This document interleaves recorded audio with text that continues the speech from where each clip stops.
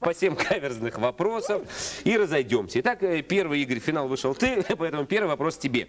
Веришь ли ты, что как учителя не корми, а он все равно двойки на уроках ставит? Да. Веришь и правильно делаешь, счет 1-0 в твою пользу. не то, что такой вопрос. э, Да, сейчас полегче. Э, Саша, вопрос тебе. Веришь ли ты, что Александр Сергеевич Пушкин с детства любил не только народные сказки, но и матерные частушки, которые ему пела Арина Родионовна? Я бы даже добавил, что он еще любил. И что делала с ним Марина Ребенок? Конечно, верю. Веришь, а зря. Игорь, вопрос тебе.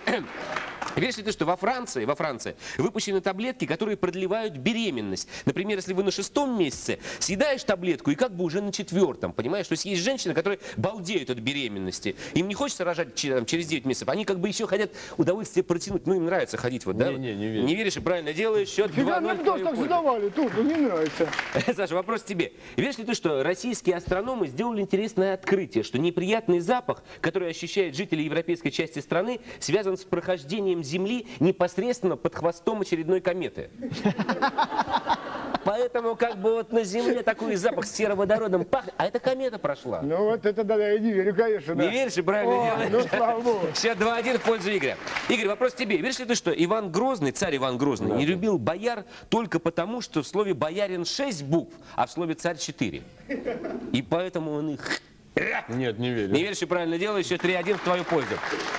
Саша, вопрос тебе. Веришь ли ты, что в фирменных магазинах Барби, помимо различных наименований кукол Барби, есть кукла под названием Барби разведенная? Да, конечно. Веришь, а зря. Счет 3-1 в пользу. Наивность подводит моя. Игорь, вопрос тебе. Веришь ли ты, что люди, которые делают утреннюю гимнастику, умирают гораздо реже, потому что их гораздо меньше? Нет, Так, не люди, не верь, а это действительно. Люди, которые делают утреннюю гимнастику, умирают гораздо реже, потому что их гораздо меньше. Потому что ведь больше людей как раз не делают Не, это гимнастику. сложно, на компьютере. Это я понимаю, я понимаю, что я запутал. Счет Это мне надо по-прежнему было сдавать 3-1 в твою пользу. Саша, вопрос тебе. И веришь ли ты, что в Петербурге выпущен пятиво- э, в Петербурге выпущен путеводитель, да, путеводитель по городу для бомжей? То есть вот бомжи, они там идут по этому путеводителю, знают, где поесть, знают, Андрюха где говорит, нет, поспать. нет, Андрюха говорит, нет, нет. Не веришь? А это действительно так. Подставил меня. Сейчас 3-1 в пользу Игоря. Игорь, вопрос тебе.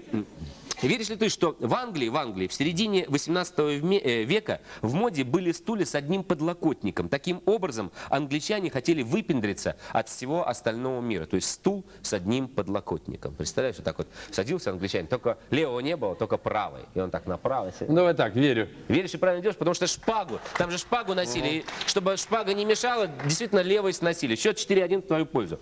Саша, вопрос тебе. Веришь ли ты, что первое слово, которое произносит в своей жизни чукотский ребенок, это «однако»? Естественно, по-чукотски. Он по-чукотски «однако». Я не верю. Не нет. веришь и правильно делаешь, счет 4-2 в пользу Игоря. Игорь, вопрос тебе. Веришь ли ты, что слово «писатель» по-сербски звучит как «писач»? Да. Веришь, а зря. По-прежнему 4-2. Писюк, писюк, я тебе говорю, твою пользу. Саша, вопрос тебе. Веришь ли ты, что с будущего года можно будет купить мобильный телефон для своих э, братьев меньших, то есть для кошек и собак, и позвонить им с любого конца города или света и успокоить, сказать ласковые слова. То есть у котика, вот там за границей, вот сейчас что же хозяева уезжают там в отпуск, они своему покупают котику такой маленький мобильный телефон или собачки и звонят ему там, например, с Канара, говорят, Пушок, Да? Как Я у тебя не верю. дела? Я не верю. не веришь, это действительно так. Я где-то Счет слышал. 4-2 в пользу Игоря. Игорь, вопрос тебе. Веришь ли ты, что э, тренер одной из футбольных команд в Германии следующим образом разогревает своих футболистов перед матчем? Он привязывает их в раздевалке к скамейкам, после чего появляется стриптизерша, которая исполняет свой номер, после чего футболистов выпускают на поле. Говорят, что в первом тайме они очень агрессивные. Во втором в перерыве им специально не подсказывают, потому что уже во втором тайме они иначе после этой стриптизерши уже отдыхают. А вот в первом они вот трудятся на поле, как умалишенные. Может быть, это и неправда, но мне бы очень хотелось, чтобы это было правдой. Веришь, Да. и правильно делаешь, действительно так. В каком-то небольшом городке тренер таким образом поднимает настроение своей команде. Счет 5-2 в твою пользу. И последний вопрос, Саш, тебе. Веришь ли ты, что стоп-кадр, стоп-кадр придумали советские журналисты, у которых просто-напросто однажды закончилась пленка? Таким образом появился стоп-кадр. Я не верю. Нет, это не. Это действительно так, да. Вот такая интересная штука. Я с большим удовольствием прошу вынести откуда тех телезрителей, которые сегодня поставили на карту дама червей, которая помогла победить Игорю Лифанову. Пожалуйста, будьте добры. Вот, ой, как вы быстро здесь появились. Вы наверняка э, со спортом дружите, да? Игорь, пожалуйста, если можно, выбери любую открытку. Тут цветочки, потому что ведь спортсменам всегда А вручается... Дедом Мороза и змеей. Ну правильно, ведь скоро Новый год и год змеи предстоящий. Итак, э, город Приморск, Ленинградской области, то есть там по направлению к финской границе. Сосновый переулок, дом 13, квартира 2, Ирина Николаевна Волохина. Мы вас поздравляем, потому что мы с большим удовольствием сейчас...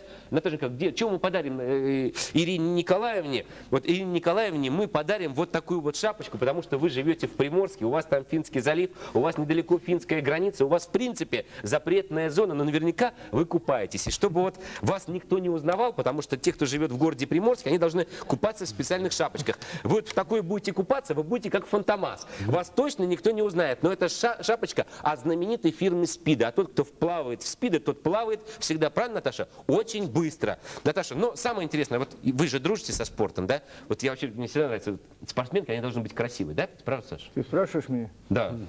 Да. Да. Вот Верю поэтому- ли я в это? Даша, верите ли вы, что вот мы сейчас все вчетвером, да, вот все вчетвером, вам подарим весь мир, земной шар? А? Вот вам.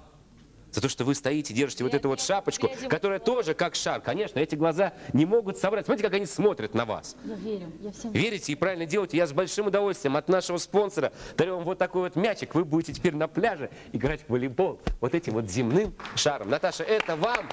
А вы каким видом спорта? А вы называйте, Так, перечисляйте. а я- давайте, давайте, давайте, сейчас мы вам попробуем. Давайте попробуйте проехать на нашем велосипеде, а, Наташа? Легко. Легко. Смотрите, сейчас мы увидим, как Наташа поедет на велосипеде, на котором теперь будет ездить. Что, а, вы вместе с подставкой поехали? Так, а это куда мы ее деваем-то? А, сейчас так. мы одну секундочку снимаем. Итак, Наташа, значит, Саша, Саша, это же теперь твой велосипед. Поэтому, пожалуйста, помоги Наташе сесть на велосипед. Наташа. Старому. А может, может, может, Так, на раму, на раму. Вот, я так и знал, что этим кончится. Итак, вот потихонечку, вы видите. Александр, да не туда! По кругу. Как я мечтал так, когда учился в школе, покатать свою первую любовь. А двумя слабо ногами. Классно получается. Итак, а так они, по-моему, и будут кататься.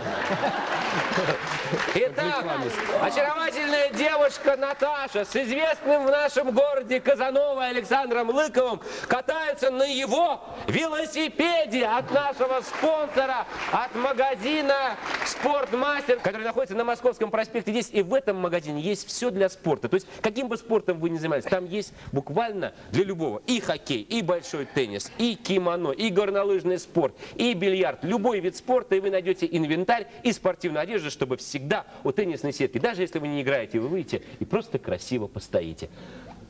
Знаешь, что не хватало? Скутера вот этого, который раньше называли самокатом. Жух! На самокате, да? Да. Игорь, ты сегодня... А, Наташа, а где Наташа-то? Наташа, это же ваша. Наташа одурманена Александром Лыковым, она просто ушла и забыла все забрать. Александр. Спасибо, спасибо большое. Ну, Красивый же, правда? Правда? Правда, спасибо, Наташа, спасибо, Александр. Игорь, тебе за первое место в нашем сегодняшнем блеф-клубе от нашего спонсора, а я еще раз напоминаю, это магазин, спортивный супермаркет на Московском проспекте 10. Класс, да, спортмастер. Я с большим удовольствием. Но это просто сейчас в моде. Ты знаешь, Понял, да? да, да, Вот, Владимир Владимирович ждет поединка с тобой. Вот. У тебя пока, извини, черного пояса нет, но это тебе. И кроме того, для того, чтобы вы с ним все-таки когда-нибудь встретились на каком-нибудь горнолыжном курорте, я с большим удовольствием от магазина Спортмастер, вот эти вот лыжи, Да, вот эти вот палки, О. вот эти вот ботинки, вот эти вот ботинки, это При все таком тебе. дожде, господи, когда Вот. снег. А если, а если, а если... Это не беговые. ты не будешь заниматься спортом, то ты будешь вот таким ленивым и вот таким толстым, как этот тюлень. От рекламного агентства «Постер» это тебе.